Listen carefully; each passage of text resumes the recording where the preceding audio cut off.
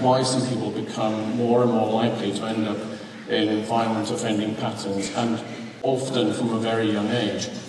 So some people, the, the ones who are particularly persistent in their offending patterns start off very young, between 10 and 12, and their persistence goes through adolescence and into adulthood.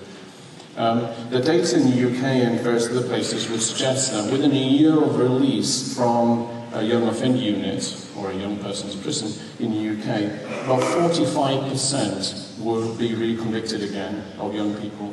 And within two years, 75% are reconvicted which to me suggests that something's not working in the way that we are trying to address the problem. And I really appreciate the point that being made earlier about it's not a judicial issue necessarily, it's a wider issue around public health, policies, social educational systems, and so on and so forth.